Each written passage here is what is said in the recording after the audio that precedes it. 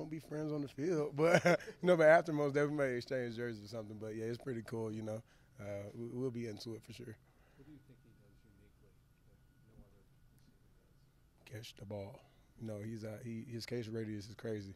Uh, I've seen it at Bama uh, a lot. He's played with Henry Ruggs, which is he's from Montgomery, so we were always around each other. Uh, but you know, uh, his catch radius is amazing. Hands are great. Uh, say route running as well. He can get in and out of his breaks pretty fast, so got to be on it.